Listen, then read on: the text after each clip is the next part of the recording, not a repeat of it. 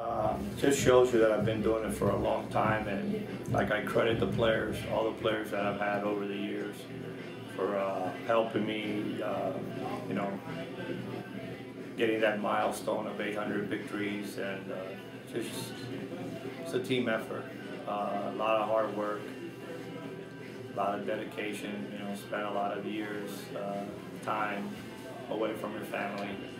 Show it's, uh, it's the toughest uh, challenge. But, uh, you know, I love what I do and um, I'm happy.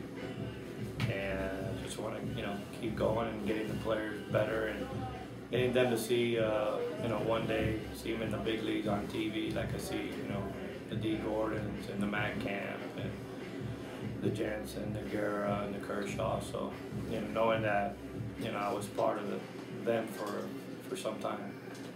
I played nine years in the minor leagues, uh, six with the Red Sox, and uh, three here with the Dodgers. And uh, probably my favorite is, you know, winning the championship back in uh, 81 in the Eastern League uh, with the Bristol Red Sox, and then 83 with New Britain, the Red Sox. Those years were, you know, were really memorable years, and uh, you know, and then you know, I started my coaching career in 1990. So uh, then it goes to you know trying to get the teams, uh, you know, get the players better, get the teams to qualify for the playoff, and then try to win a championship. And when I managed in uh, winter ball in Hawaii, that we ended up winning the championship. That was a special moment. Uh, never been to Hawaii and spending like almost three months over there uh, with Buster Posey and Alonso.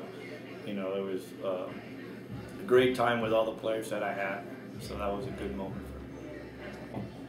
Ever since I kind of got, you know, started playing baseball, uh, growing up in Miami, and then getting to high school, I've, and through my professional career, I've always wanted, been, you know, pretty much on winning teams and winning, you know, in high school we won two state titles. And, you know, I've been fortunate enough to to be on winning teams. So, you know, I just want to see the players get better.